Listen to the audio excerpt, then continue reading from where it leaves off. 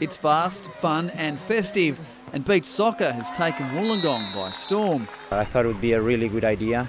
Uh, I've been here for three years, and uh, Wollongong has uh, beautiful beaches, and I thought it would be great. Complete with Brazilian drums and dances, this was an event never seen before in the Illawarra. Although only new to Australia, there is a Beach Soccer World Cup.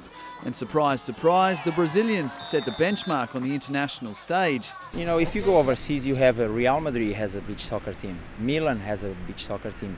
So there's quite a few teams already. They have competitions. Playing on sand leads to a very different style of play. The soft landing encourages acrobatic kicks.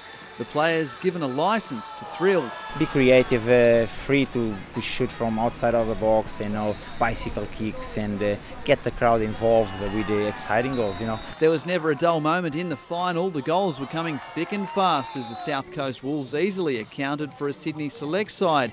It's estimated 3,500 spectators caught a glimpse of the action over the two days of competition. This was the first one and there will be many more to come.